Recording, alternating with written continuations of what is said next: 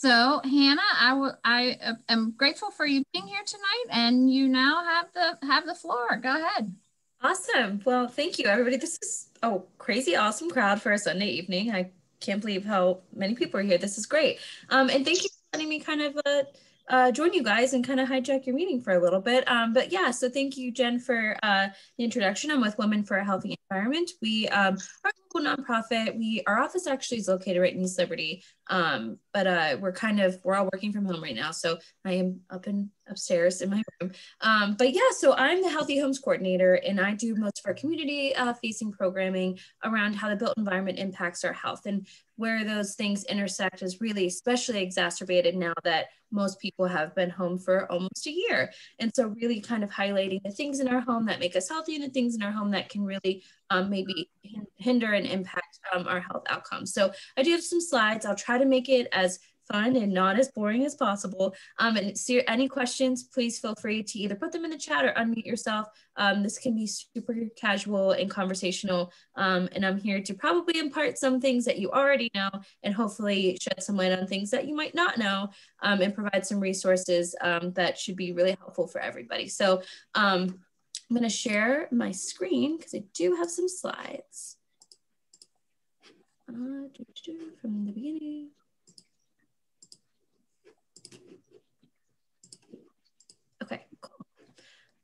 All right. Well, um, this is just kind of an overview, so you kind of know what you're getting yourself into, but um, we'll uh, keep it to overview of kind of what uh, we'll talk about and then um, really shed some light on some resources and have any times for some questions. But at Women for a Healthy Environment, like I said, our um, real goals, our, our real uh, mission is around the environment and health. And so to really inform people about how those things interact and how they do impact our health and how you can advocate and create a healthier space, um, both in your home and in your communities. And so um, I'll kind of preface all of this by saying that if proactive and preventative policies existed, a lot of our issues wouldn't be um, what we have to deal with. And so um, while a lot of this will seem like a lot of resources for us individually that we can do in our home, it is really important to recognize that there are a lot of big, bigger systemic things at play here that really do create um, an environment that can sometimes be unhealthy. Um, so that's kind of our, our overview there. And so at Women for Healthy Environment, we do have three main program areas. Like I said, I'm the Healthy Homes Coordinator, but we do have two other arms of uh, the organization that focuses on the school environment um, and uh, healthy school buildings, and then also in the early learning environment, which is really a focus on um, like the daycare setting and the early learning um, setting as well. So those programs look a little bit different, but have all the same um, uh, things in mind um, in terms of environmental health and our health.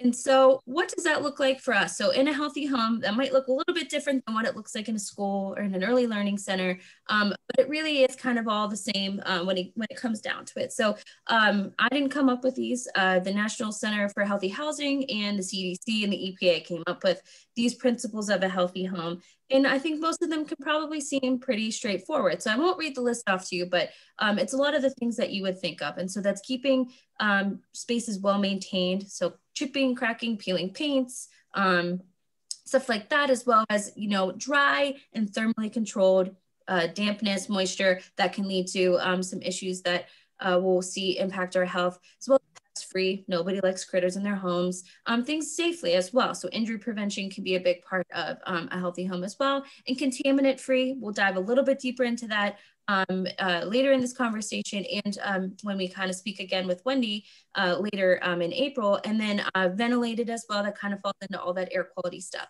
And so what does that look like in terms of where environment impacts our health? Well, that's where we think about things specifically like lead exposure um, and lead in our home, things like mold and mold exposure and how it impacts um, our air quality, things like radon, um, and stuff uh, in our indoor air that can kind of impact um, how we breathe. And so the cleaning products we use, the personal care products we use, um, like our shampoo and our soaps, um, and even the way that we deal with those critters that nobody wants um, to have in their home. And so this is kind of where we see this intersection of how we um, how we uh, uh, understand what's in our environment and then how we'll think about how it impacts our health. And so I don't expect anybody to be able to read this because the font is very, very tiny. Um, but basically, this is an infographic that we created that kind of helps you think about room by room what you'd want to dive a little bit deeper in and what you'd want to think about in that specific room. And so from left to right, it kind of takes you through um, kind of like a laundry room cleaning area in through if you have any children in a nursery and you're thinking about buying furniture, thinking about our outdoor air environment and polluters, um, all the way in through like a bathroom as well, um, into a kitchen. And so we'll kind of touch on all of these things throughout. It was just kind of a um, an infographic that we like to have to kind of put this all into perspective, room by room. Um, these are the things we want to think about. And um, all of the uh, infographics that I'll share today are available in a PDF form on our website too. So I'll make sure I share the link to our website in um, the chat here. So this was kind of just an overview of what we'll be talking about. And I did want to preface that we are talking about healthy homes. And um, I don't know if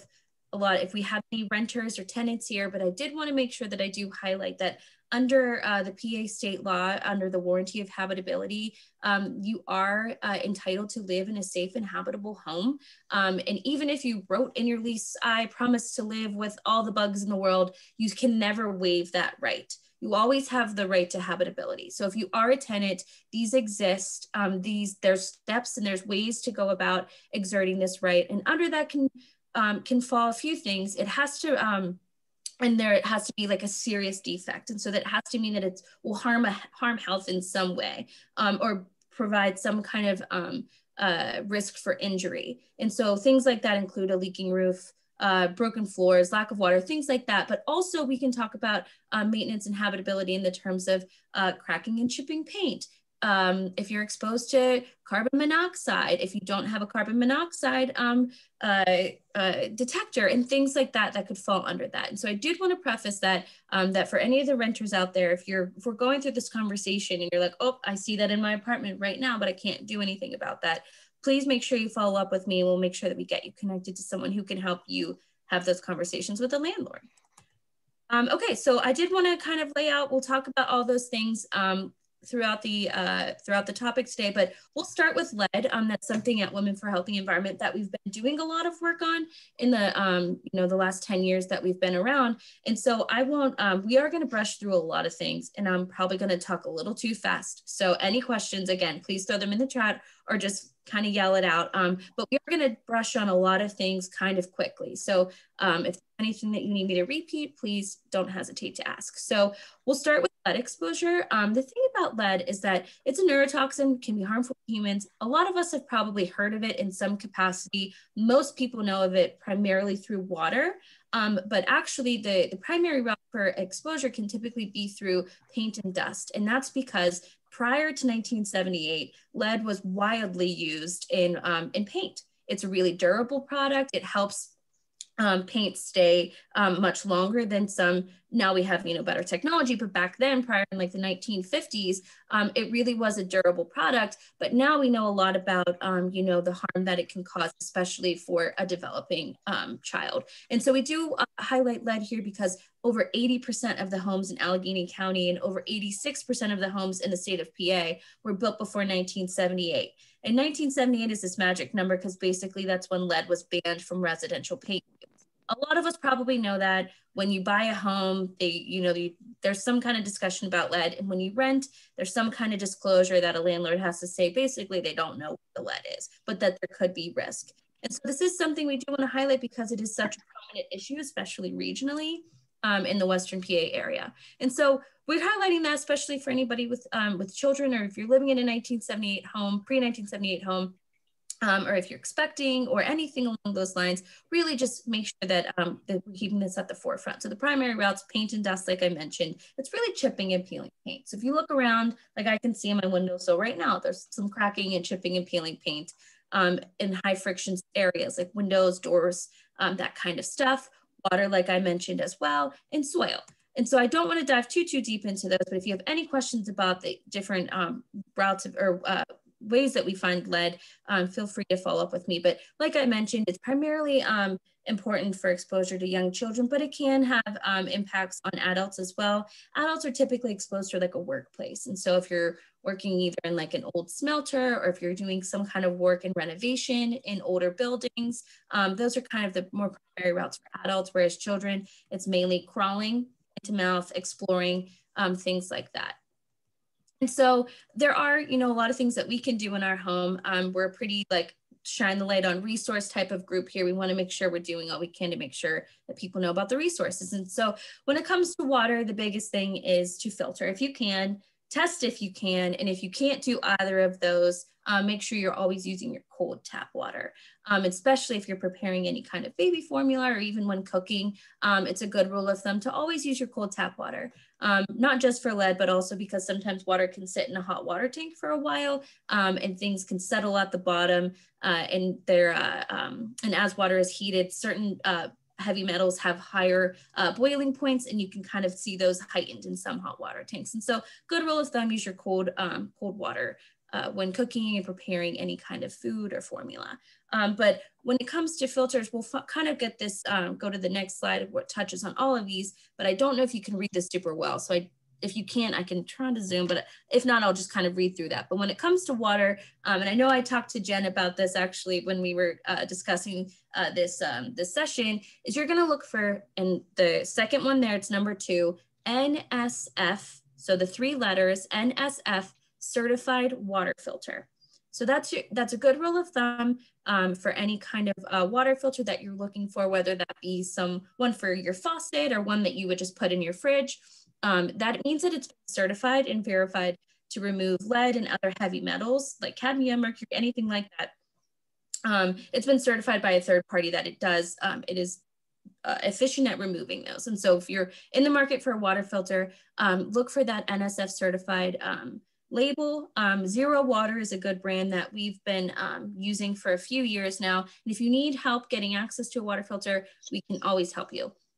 Um, so that's kind of the big one on water, but I will go back. Um, like I mentioned before, you know, especially if you are cooking or doing anything like that for um, preparing food, using the cold water tap. But the big thing in Western PA, like I mentioned, really is the dust and the paint. And so if you are in a home and you don't have, you know, you know, painting is not in your budget this year, that's okay. Your home can have lead in it, but it could be lead safe. And so really the key to that is minimizing uh, dust and really making sure that you're wet dusting and wet mopping. Um, taking just like any kind of regular duster is just gonna move the dust from one place to another. So a good rule of thumb in any kind of cleaning is to really always wet dust and wet mop. Um, Please make sure you guys get your backpacks ready. Um, especially if uh, you're, um, uh, especially if you have like a microfiber cloth or any kind of wet damp, uh, wet damp um, uh, cloth or uh, mop will be really helpful. Um, so that's the big one there. And so I won't read through all of these, but those are the big things in your home is really making sure you're minimizing dust where you can, maintaining paint when and if you can. And if you rent, make sure you are bringing this to your landlord landlord's attention, especially if you live in a home before 1978. So we, again, I can share all these infographics. Um, and if you have any questions specific to lead, let me know, but I do want to breeze through these. So um, radon, that's another hey, thing. Anna, I, I don't mean yep. to interrupt, but nope. if there was a question, are pets, oh, sorry. are pets at risk for lead exposure and what sort of symptoms would you see? Yeah, that's actually a question that I got a few weeks ago, actually. And that was kind of the first time that I'd um, kind of heard of that. Yes, um, you know, any anybody that's ingesting anything uh, can be at risk for lead exposure. Um, there have been a few studies of lead exposure in dogs. Um, and so the thing about animals is for it to be, you know, where you would see symptoms, it would be really, really high. Um, and that's kind of even in um, uh, humans too. Uh, the symptoms that you see of like immediate exposure um, are they'd have to be really high. The more long-term impacts are from lead are actually like behavioral. So you would see it kind of more long-term in terms of like, um, especially in, in children, you would see it kind of mimicking things like um, attention deficit disorder and things with behavior and um, stuff along the, on those lines where it would you would see kind of an immediate response would be if it was a really really high level and um, the dog would or your pet would almost be acting uh, kind of like loopy or delirious or things like that it would be really really high. Um, but if it's something that you're concerned about you know if your if your dog is you know like select the floor or specific spots of the house that you've seen you know have chipping or peeling paint um, you can always bring that up to a vet. Um, it's an easy blood draw, uh, typical, you know, with most people. It's done in like a well visit with a physical. Um, and I'm sure for a pet, it's probably a very similar blood draw. Um, but for you to see any symptoms, it would have to be like really, really high. The minimal levels, you probably wouldn't really see a whole lot, but it can um, be linked to some chronic diseases that are linked to like some kidney um, issues as well as some um, other more chronic diseases. Um, but yeah, it's definitely a, a space that probably doesn't have the most research, but it's definitely something that you could definitely see. So if you are concerned, make sure you bring that up to a vet if that's something that you know you're like, oh, they're acting a little funky. Maybe I should check that out. All right. Um, and we have so many resources on lead. I could do a whole hour just on lead if we really wanted to. Um, so please, seriously, feel free to reach out, especially if you have young kids under the age of six. Make sure you're getting them tested. Um, they are required to get tested at age um, one and two now in Allegheny County, and you have to kind of show proof of that similar like, like you would to a vaccine. Um, so make sure you're getting them tested. There's a lot of resources available for families, which I'll touch on those in the end. I have a whole resource section of this PowerPoint, but um, please, please reach out. Uh, we have a whole Get the Lead Out campaign right now, um, especially for City of Pittsburgh residents. And we do have some uh, resources for risk assessments in your home as well. So we will touch lightly on radon. And I'm sure anybody who's bought a house in the last 40 years knows a little bit about radon. Um, and so it's basically um, a naturally occurring gas that forms kind of underneath um, the Earth's layer. And so when things are moving and um, different, you know, parts of the world are kind of uh, moving and rotating, some of that gas can leak up through the ground. And so what that looks like in Western PA is we have hills and valleys and we have seasons and a lot of us have basements that are old um, and probably have some cracks in the foundation. And so radon is something that can kind of um, come up especially in basements. Um, there's nothing really that any of us have done to make that happen. It's totally part of the the geography of the earth. Um, we just happen to live in Western PA where we have higher levels of it.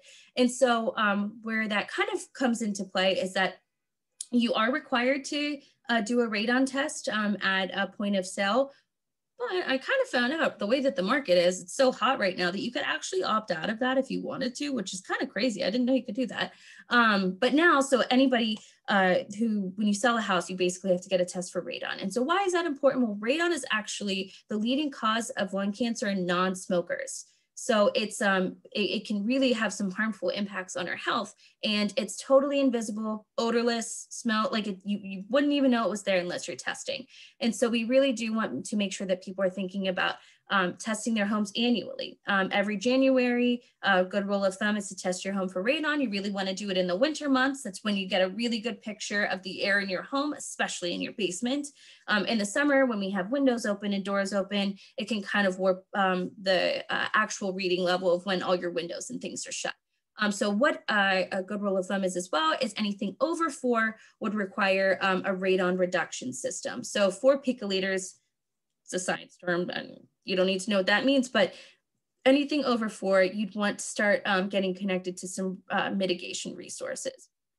And um, that all exists through the PA DEP, Department of Health. Again, we have resources for that on our website as well. Um, but that can go anywhere um, from 150 depending on the home to $200 sometimes upwards of like four depending on the size of the home and what your levels are. Um, testing is really cost efficient. You can get it at home depot. Um, most tests are like 15 bucks. We actually in allegheny county because we um, have higher levels you can request a free radon test through the american lung association. I actually just got mine. I'm going to do my test um, probably this week um, and so you can, there, there's a lot of resources for those as well. Again, that's on our website. I'll make sure we have these links here. Um, but really good rule of thumb, test annually that way you get a good accurate picture. If it comes back with the four, let's make sure we get you connected to someone who can help you get a uh, reduction system. And that's literally just creating kind of an air filter from the outside to your inside that pulls that air, filters it, and releases it back out. All right, any questions on radon? Most of us probably know, we've probably heard of it at some point. Um, so next thing, especially in, um, you know, this fun uh, rainy day that we've had today, I think a lot of us uh, understand um, how important mold can be in a home, especially where moisture is trapped. Um, most of us know what mold is. I'm not going to make you read this slide, but basically it can be really stubborn. It's fungi and it's spores that can uh, really thrive in dark, damp conditions, that being primarily bathrooms, basements, things where moisture is trapped. And so it can be really hard to get rid of. Um, and I think a lot of people's good rule of thumb is to just dump bleach on it and hope it goes away. And while that can be a primary fix, you're not really physically removing the spores. That's where um, you do see more long-term um, removal practices is when you're physically, you know, putting some elbow grease in it with a detergent and um, some kind of soap to try to actually remove the spore, whereas just killing it can kind of keep it on the surface and give it a chance to regrow. And so mold is tricky and a lot of the things that you know are listed here are a lot of the things that we can try to do but sometimes don't always have the capacity to do so really trying to maintain humidity 50% uh, humidity in your home is a good rule of thumb um, if you don't have a dehumidifier in your basement and you live in western pa let's try to get you one because uh, it's probably especially in an older home um, is really important uh, to try to control the humidity, especially in a basement. Um, ventilation, I know, especially in if you rent in an older Pittsburgh bathroom, a lot of places don't have the, the, the fan vent in a bathroom, which is crazy. Um, and if you don't and you have a window, even just cracking a window just a little bit during a shower can help limit um, moisture in a home. Uh, carpeting, really popular in the 80s to put carpeting in bathrooms. And I think a lot of us learned a really valuable lesson. Um, and so if you do have carpeting there, um, if you can't get rid of it, just trying to vacuum up as much as you can, as often as you can is, is really good. And if you can remove it, try to do that. Um, and a really big thing, especially, um, you know, not in basements or in bathrooms, but also in like attics is leaks. That's where you can see a lot of um, mold as well. And so, you know, doing whatever we can to fix leaks. And like I said, cleaning.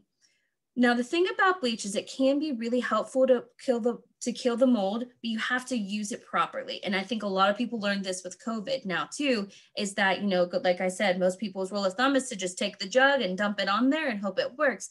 Well, that actually won't really do a whole lot. If bleach isn't diluted properly, it does not work the way that it's designed to work.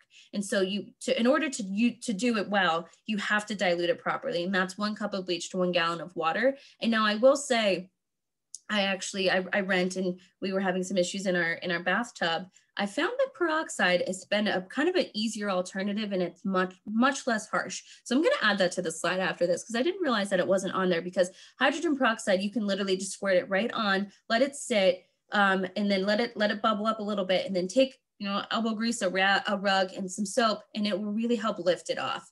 Um, and so you know there's a lot of DIY recipes. You could Google it, you could ask me, um, but don't just dump bleach on it because that really won't do a whole lot. If you're going to use bleach, make sure you're using it um, diluted. All right, moving on. Um, a thing that, you know, a lot of us definitely deal with, but a lot of people don't want to talk about is pests. So that can include, you know, things like mice and cockroaches and spiders and all those things that are in our homes that freak us out that nobody wants to talk about. Um, but a lot of our default and how we deal with that is to get bait and to get chemical traps and to get things like that that we think will do the job to kill them, which it will. They, they you know, they're insecticides, they're pesticides, they will kill. But they can also harm other things too. They're they're meant to kill, but not just pests. Um, and so there are much safer, efficient, and effective ways to you know deal with pests in our home a lot of that starts with you know clutter and cleaning in those spaces that we kind of forget about sometimes especially in cupboards especially in closets and pantries um, crumbs places where crumbs you know kind of hide and you never think about them ever again is behind your refrigerator uh, when I moved, I was like, oh my God, I need to clean that more. Um, so definitely, you know, there's places where you don't, we don't think about it every day. And so our default is, oh, I need to get something to kill it. Um, but what, hap- what can happen is, especially with bait, um, it can always, it can actually attract um, more pests than what you had before. Um, so really bait is kind of a last stitch. If nothing else ever worked again, we would go for it. But there are a lot of good ways to, to deal with it before doing that. Um, and like I said, cleaning up in the spaces that we don't always think about. Um, the other one is sealing cracks and openings. And I never realized this until um, I started looking more at basements. And if you see, you know, cracks or even just random holes from like a living room to a basement, um, filling those. And if you don't really have the proper tools or don't really know exactly what to do, a good um, easy thing that I found um, is uh, almost what, what's it called like chicken wire, but not chicken wire. It's like an SOS pad, and I'm blanking on the name of what like that material is. Uh, steel wool. Yeah, steel wool. I was like, oh my god, I'm like blanking. Um, but yeah, so um, most pests can't eat their way through that. Um, so if you have a random hole and you're like, I have no idea what to put here, and you don't have caulking or don't have something that you could put in there, steel wool is really easy. You can get it at the Dollar Tree um, and you can stick it in a hole and that will help seal off a hole from a pest kind of coming in.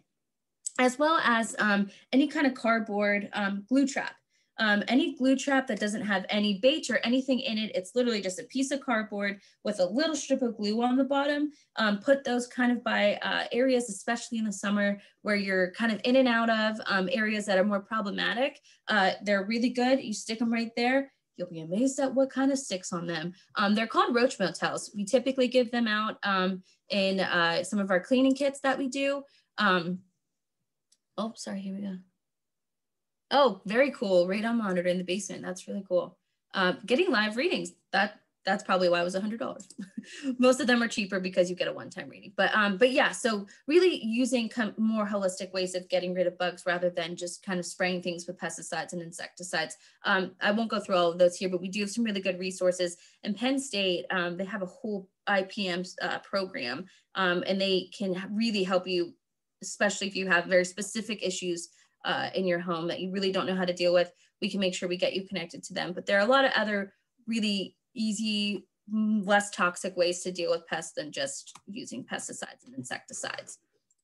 Um, okay, and this is where we'll spend a little bit more time, but of, again, I'm going to try to breeze through these as much as I can. But I will say I'll plug, I think the end of April, I am going to be working with Wendy's group as well. We'll spend a little bit more time on the green cleaning and disinfecting kind of part of this presentation. So I will kind of breeze through the breeze through this, but please ask any questions. And so, um, you know, this whole speak, this whole second part of this uh, conversation is really around cleaning, personal care products, and how does that impact, you know, our health, the air quality in our home, and uh, and things like that. And so all of these things, radon, mold, all of this kind of is an is an indoor air quality issue. Things that we're breathing in, toxic fumes, dust, paint, mold, cleaning supplies, all of those things that we don't think about that we use every day that really do have a cumulative impact. Um, and poor indoor air quality for anybody who has asthma, um, you can definitely probably have an example on hand of where someone used Febreze or someone sprayed um, a, a perfume or even just used bleach and you walked in and you couldn't catch your breath for a few seconds. And so uh, these are why we kind of make sure that we're including this in here um, because it is so prominent, especially for anybody with a respiratory heart disease um, as well. And so really this slide is kind of crazy and it's kind of scary and it really just shows that United States is really behind. And so there are like over 80,000 and this number is probably growing now. I think these numbers were from like 2019. So I we don't even have the most updated, but there's over 80,000 chemicals that can be on the market that can be found in our homes. Only 200 of those have been uh, tested uh, by the FDA. Um, and only of those 200 have 11 been banned. So we know that the testing to banning to use rate is very wildly not on par for where it should be. And so why we kind of highlight that highlight this is not to scare people but to just say that we have a market that is not really friendly it's not really consumer friendly it's very much we're going to put stuff out see how it goes and kind of go from there and so what we want to help you do is kind of how to be able to be a smart shopper until the policies catch up to where they need to be. Because right now they're not there. And so right now, unfortunately, the onus is on us as a consumer and a purchaser. Um, but I will say, in the last three years, we've seen kind of a shift. You can see even on Walmart shelves, you can see clean and paraben free and phthalate free and things like that. Um, so the market really is changing, um, but it is something that has been from a consumer demand. Um, and so things that, you know, we think about, especially in personal care products here are things like phthalates, parabens, um, some stuff is uh, in formaldehyde as well. Um, all of these different things, I won't go through them, um, but these are different ingredients that were used in um, a lot of our products because they worked, they kept the shelf life long, but now we know a little bit more about them. And uh, things like phthalates and parabens look like um, they're called endocrine disruptors. So basically, they look like our naturally occurring endocrines, but kind of trick our body into thinking that something's happening that it's not, and it can cause some some health issues. Um, a lot of those being uh, early puberty. Um, that being kind of a, a, a primary one um, more frequently. And that bottom one there is fragrance. Fragrance is great. Everybody likes to smell good. Everything's everybody likes when things smell good, especially in your home. Um, but what is a little bit crazy, and I didn't know this until I started my job, is that um, fragrance is kind of a trade secret. So if a business found a scent that they really like, they don't want someone to take it, so they don't have to tell you what's in it. And so what's crazy is that in one fragrance can be a combination of up to 2000 chemicals to make that one scent. And they don't have to tell you what it is because it's a trade secret. Um, and so really thinking about um, fragrances is really important and in our personal care products. And then this is kind of more specific to cleaning products, but um, yes. And so we can get to, I'll uh, touch on candles in the home in like one second, but actually, what I'll do right next, you ask. Um, yes, candles are uh, really important in things like any kind of air freshener. So an aerosol sprayer, a candle, um, even sometimes even the candle warmers that we use um, can be sometimes problematic for our indoor air quality. And um, for a few ways.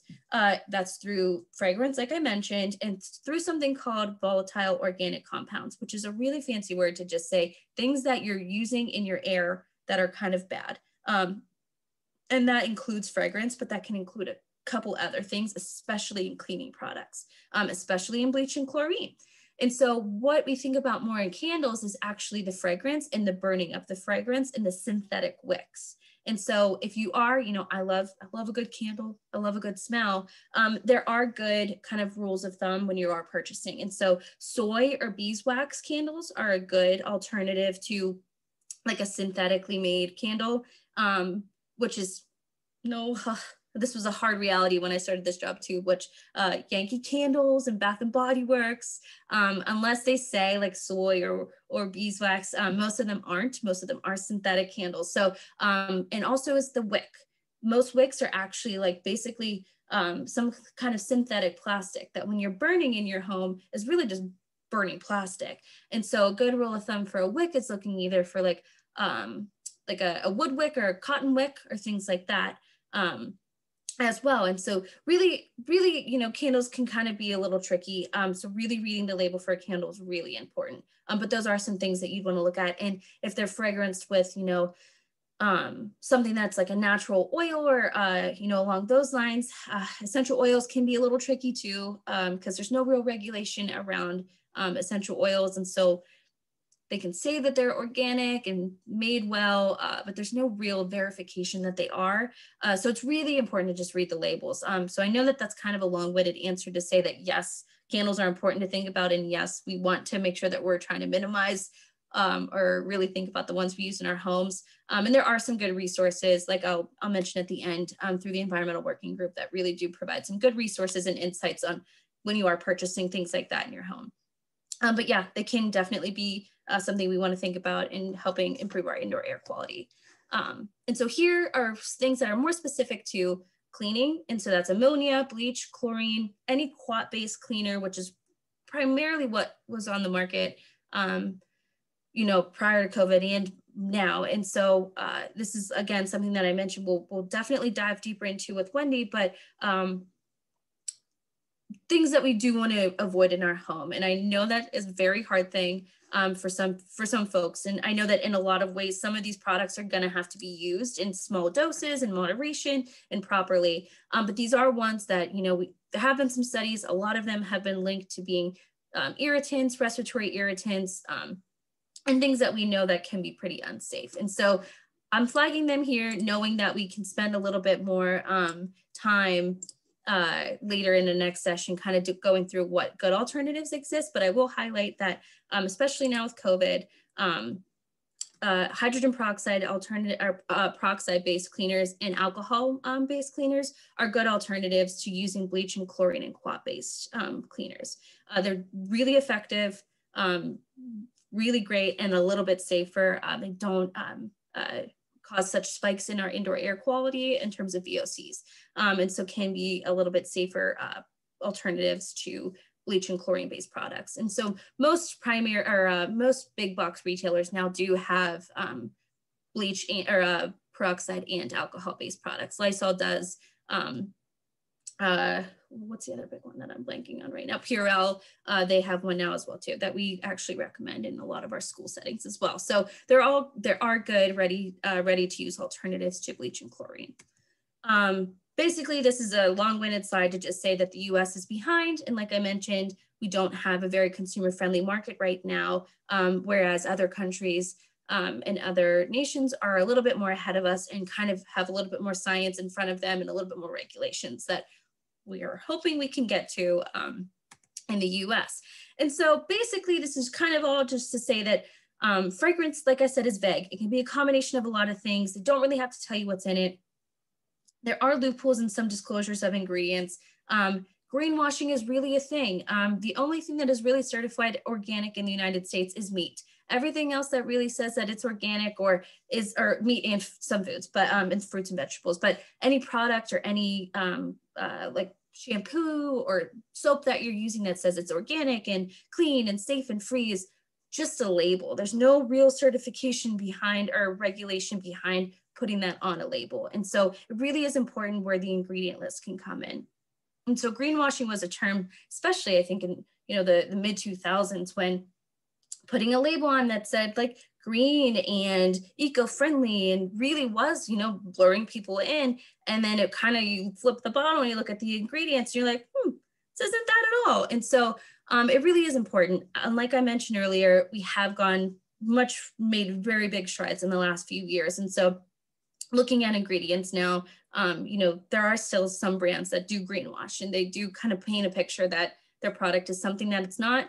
But there are a lot of better products now. They're um, there really are companies that are really committing to this. And so can still be a little wonky and still can be a little frustrating but we're in a much better place than we were a few years ago. Sorry. So now I do want to spend a little bit of time just to go through some of the resources that exist. And so, like I mentioned, uh, when it comes to personal care products, it really is important to, if you can, avoid fragrances, especially in skin products. Um, they can be really irritating uh, anyways. And so any kind of skin or body product, if you can avoid fragrance, really try to. Labels, super important. If you can flip the bottle, um, and I'll show, I'll give you a resource because um, nobody should have to be a chemistry major to know what's in their products, which is the way that it exists right now. But there are some tools that we um, can we can share that can make that process a little bit easier. Um, you know, kind of going back to some DIY recipes, uh, looking at, you know, what maybe our grandparents' grandparents did for their dish soap or what they did for their bathroom cleaner. Um, we have some really good DIY recipes for things like window cleaners and soap scrubs and things like that as well. And like uh, I'll kind of put at the end, there is a database through the environmental working group um, they have a lot of really good resources when it comes to like being in a store and being able to scan a product um, and rating it and helping you make that purchasing decision. So that's what's here. This is called the Skin Deep product, but they also have a slew of other really good Healthy Homes products here. Um, and so it's an app. You can find this in an app store. Uh, and it's really helpful. Um, and if you need any more, uh, you know, resources on that or need any help getting that, please feel free to let me know. Um, there aren't always every product that is in the store on this app yet. Um, and so uh, sometimes you might not be able to find the product that you're looking for, but it will be able to at least help you kind of walk through that as well as here, um, we has a top 12 toxins to avoid. And so this is when you're purchasing um, any kind of personal care or cosmetic product here. So if you see any of those 12 things on a back of a bottle, try to find a different one. Um, and so we have this in a print version, but we also have it in um, an electronic version. You can just take a screenshot of it, keep it on your phone. When you're going to buy your next bottle of shampoo or your next bottle of body wash, pull this up. If you see anything that looks like that, um, you know, maybe look for a different product. Um, and like I said, some DIY stuff. Uh, baking soda and vinegar. You know, baking soda has been used forever in a lot of different capacities, but in cleaning more specifically, especially in bathrooms. Vinegar, I think most people who have uh, uh, original hardwood floors know that vinegar is a really great product for um, cleaning floors and for any kind of all-purpose cleaner. Um, and so really kind of going back to some of the, the basic products that you could probably find in your pantry right now.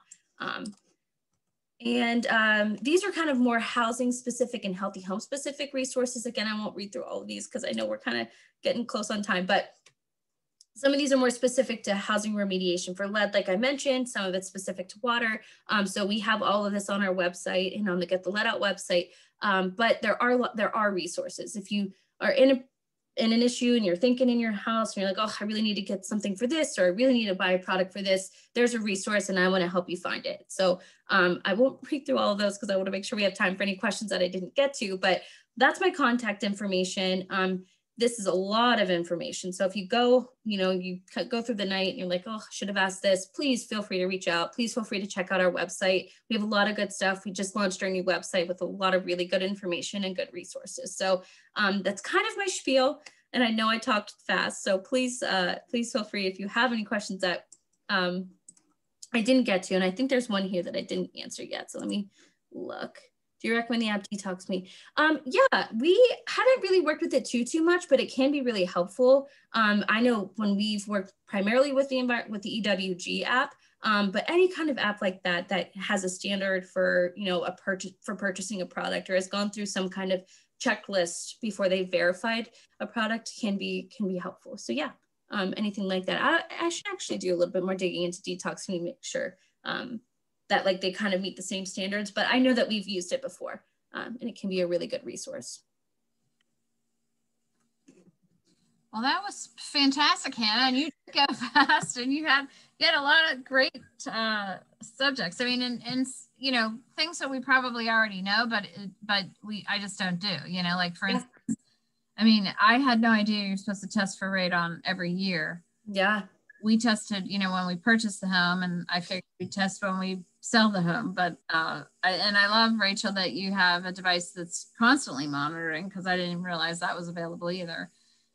Um, you know, because that is an issue. Either. Um, until I did, you know, saw the best practices for it. And it's really just because, you know, like the way we are in Western PA, our, our ground moves. You know, you see that in our roads. We have cracks in our roads. You're going to have cracks in your basement. You're going to have cracks in your um, in your foundation and that's normal but that can totally change you know what's underneath and that can change the way it gets up. And so um, testing annually is a really good really good best practice. And like i mentioned we can